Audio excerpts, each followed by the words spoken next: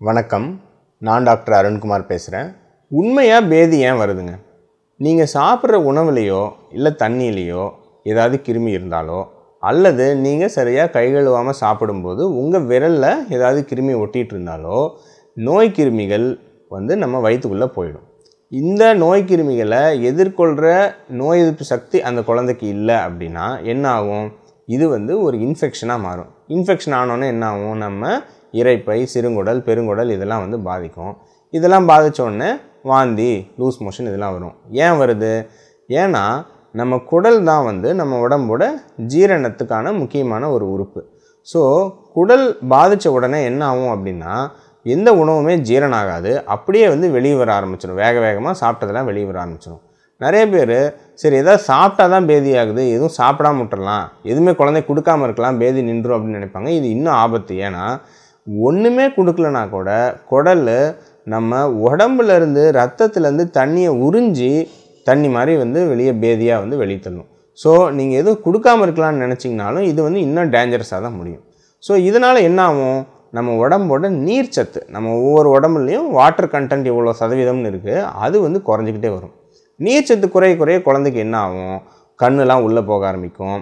நாக்கு கண்ணுலாம் வந்து வறட்சியாக ஆரம்பிக்கும். குழந்தை வந்து ஃபஸ்ட்டு ஒரு இரிட்டபிள் ஸ்டேட்டுக்கு போய் அப்புறம் ரொம்ப சோர்ந்து போய் யார்கிட்டையுமே பேசாத மாதிரி ரொம்ப லெதார்ஜிக்காக மாற ஆரம்பிச்சிருவாங்க.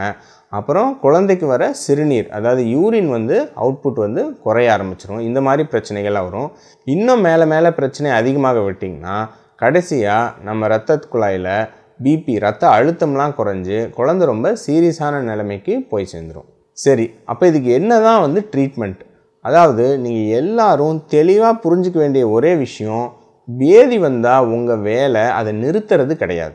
ஸோ நிறுத்த ட்ரை பண்ணி தான் இத்தனை மூட நம்பிக்கைகள் வந்து நாட்டில் வந்து உலாவிட்டுருக்கு.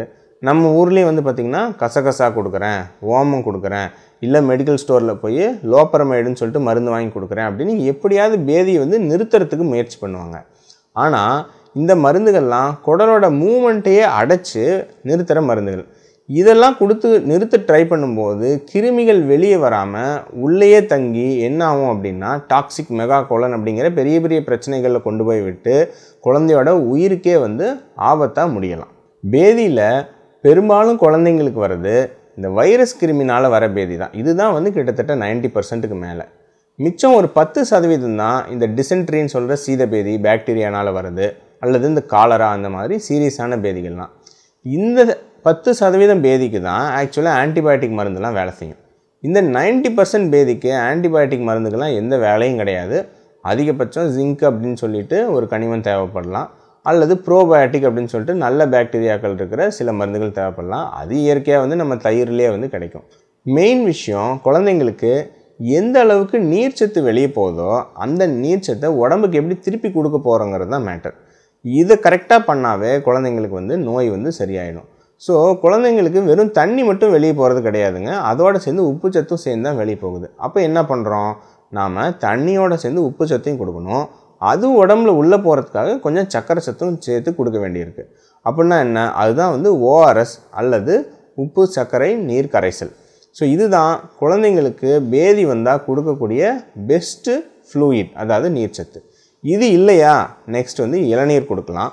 அது இல்லாட்டி கொஞ்சம் நீர் உப்பு கலந்த அரிசி கஞ்சி கொடுக்கலாம். இதெல்லாம் வந்து குழந்தையோட உடம்புல இருக்கிற நீர்ச்சத்தை அருமையாக வந்து உங்களுக்கு வந்து டேலி பண்ணும். இதுவே ரொம்ப சின்ன குழந்தையாக இருந்தால் நார்மலாக அம்மா கொடுக்குற தாய்ப்பாலை எப்பவும் போல் கண்டினியூ பண்ணலாம். அதுவே வந்து ஒரு நல்ல நேச்சுரல் ஓஆர்எஸ் மாதிரி தான் அதுவும் வந்து குழந்தையோட நீர்ச்சத்தை அருமையாக வந்து சரி பண்ணும். இது எதுவுமே முடியல. குழந்தை எதுவுமே சாப்பிட்ற நிலமையில இல்லை அப்படின்னா என்ன பண்ணணும்? குழந்தைக்கு வந்து அந்த கடைசி கட்டமாக நாம் வந்து நரம்புகள் வழியாக நம்ம ஐவி ஃப்ளூயிட்ஸ் அதாவது ட்ரிப் ஏற்ற வேண்டி வரலாம். ஸோ நம்ம எய்ம் என்ன? ஏதோ ஒரு வழியில் அந்த நீர் சத்து திரும்ப உடம்பு கொடுக்கணும். அப்போ தான் நோய் வந்து சரியாகும். நாங்கள்லாம் படிக்கும்போது சென்னையில் தொற்று நோய் மருத்துவமனை இருக்குது தண்டையார்பேட்டையில் பார்த்துருக்கோம். ரொம்ப சீரியஸாக வர கலர நோய்கள் கூட கரெக்டான அளவு நீர் சத்தை உள்ளே போட்டோம்னா ரெண்டு நாளில் நோய் சரியாகி ஜம்முன்னு சரியாகி வீட்டுக்கு போவாங்க. அப்போது பேதி வந்தால் நீங்கள் மருத்துவர்கிட்ட கூட்டிகிட்டு போகிறதுக்கு காரணம் என்ன? பெருசாக ஏதோ மருந்து வாங்குறதுக்கெலாம் கிடையாது. ஆக்சுவலாக நீங்கள் கூட்டு போகிறதுக்கு காரணம் ரெண்டே ரெண்டு தான். ஒன்று இது ஏதாவது இந்த டிசென்ட்ரி சீதபேதி அந்த மாதிரியான பேக்டீரியா கிருமி தாக்கமானு தெரிஞ்சுக்கணும். ஏன்னா அதுக்கு சில மருந்துகள் கொடுக்க வேண்டியிருக்கு முக்கியமாக அல்லது ரெண்டாவது குழந்தையோட நீர் சத்து எந்த லெவலில் இருக்குது இப்போ என்ன மாதிரியான ட்ரீட்மெண்ட் கொடுக்கணும்? ரொம்ப கம்மியாக ஓஆர்எஸ் கொடுத்து சரியாகிற கண்டிஷனில் குழந்த இருக்கா? அல்லது வந்து ஐவி ஃப்ளூயிட்ஸ் அந்த மாதிரி ஏற்ற வேண்டிய சூழ்நிலையில் குழந்த இருக்கா? இதை தெரிஞ்சுக்கிறதுக்காக மட்டும்தான் நீங்கள் மருத்துவர்கிட்ட கூட்டிகிட்டு போகிறீங்க ஸோ இதை கரெக்டாக பார்த்து மருத்துவர் இந்த மருந்து வேணுமா வேணாமா? இல்லை பெருசாக மருந்துகள் தேவையில்லை வெறும் ஓஆர்எஸ் அது குடித்தாவே போதுமா அப்படிங்கிறத உங்கள் மருத்துவர் வந்து கரெக்டாக சொல்லிடுவார் அதை கரெக்டாக ஃபாலோ பண்ணிங்கனாவே நாலஞ்சு நாளில் ஜம்முன்னு இந்த பேதிலாம் வந்து சரியாயிடும். நீங்கள் சொல்கிறதெல்லாம் உண்மைனா அப்போ இவ்வளோ நாளாக ஒரு ஐம்பது அறுபது வருஷத்துக்கு முன்னாடி இந்த பாரம்பரிய முறைகள் தானே பழக்கத்தில் இருந்துச்சு.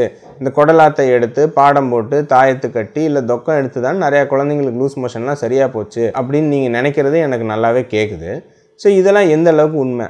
ஸோ இதுதான் வந்து நம்ம பிளசிபோ எஃபெக்ட்னு சொல்லுவோம். பிளசிபோ எஃபெக்ட்னா என்ன? அதாவது எஃபெக்ட் இருக்கிற மாதிரி நாம் நினச்சிக்கிறது.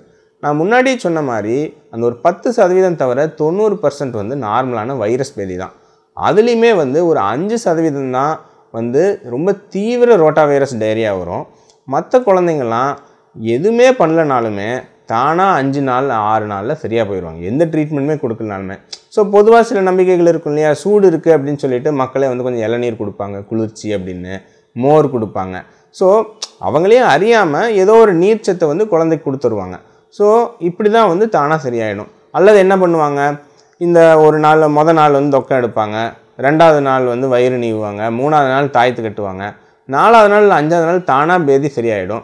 கடைசியாக அவங்க என்ன பண்ணி சரியாச்சோ ஓ இதுதான் வந்து ஆக்சுவலாக வேலை செஞ்சிரு குழந்தைக்கு அப்படின்னு அவங்க மனசில் வந்து நம்பிப்பாங்க. நாங்கள் மருத்துவமனையிலே பல வாட்டி பார்த்துருக்கோங்க. குழந்தை வந்து அட்மிட் ஆவாங்க. மூணு நாள் நாலு நாள் பயங்கரமாக பேதி வந்து பிடுங்கி தள்ளும். நம்ம எல்லாம் மருந்துகள்லாம் கொடுத்துட்ருப்போம் அஞ்சாவது நாள் அவங்க சொந்தக்காரர் வந்து இதுதான் தாயத்து அப்படின்னு ஒரு தாயத்து கட்டுவார்.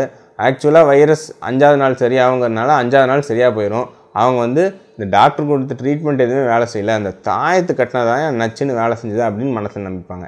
இப்படி தான் நம்ம மூட நம்பிக்கைகள் பழசு வந்து நம்ம சமூகத்தில் நிலவிக்கிட்டு இருக்குது. சரி இதில் பிரச்சனை என்ன?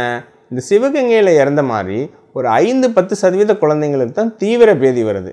இந்த குழந்தைங்களுக்கு நீங்கள் தொக்கம் எடுக்கிறேன் குடலாத்தை எடுக்கிறேன் பாடம் போகிறேன் தாயத்து கட்டுறேன் அப்படின்னு நீர்ச்சத்து படிப்படியாக குறைஞ்சிட்டே வரதை நீங்கள் கவனிக்காமல் விட்டிங்கன்னா இது வந்து ரொம்ப சீரியஸான நிலைமைக்கு நான் சொன்ன மாதிரி பிபிலாம் குறைஞ்சு ரொம்ப சீரியஸான நிலைமைக்கு கொண்டு போயிடும் அப்படி நடந்த சம்பவம் தான் இந்த சிவகங்கையில் நடந்த குழந்தை இறப்பு. இந்த மாதிரி மட்டும் கிட்டத்தட்ட இந்தியாவில் ஒரு வருஷத்துக்கு ஒரு லட்சம் குழந்தைங்க மேலே இறக்குறாங்க அப்படின்னு வந்து நம்ம தகவல்கள் வந்து சொல்லுது. அதில் நீங்கள் தெரிஞ்சுக்க வேண்டிய என்னென்னா ஒரு பாதி குழந்தைகள் வந்து சில இடங்களில் தேவையான அளவு மருத்துவ வசதிகள் இல்லாதனால இறக்குறாங்க. ஆனால் மிச்சம் பாதி குழந்தைங்க இந்த மாதிரி சிவகங்கையில் இருந்த மாதிரி மருத்துவ வசதிகள் அந்த இடங்களில் இருந்துமே மூட நம்பிக்கைகள்னால சரியான நேரத்தில் கிடைக்க வேண்டிய ட்ரீட்மெண்ட்டை டிலே பண்ணி இதனால் வந்து குழந்தைங்க வந்து இறந்து போகிறாங்க இதெல்லாம் வராமல் உங்கள் குழந்தைங்களுக்கு தடுக்கணும்னா என்ன பண்ணணும்? த்ரீ க்ளீன்ஸ் அப்படின்னு சொல்லுவோம்.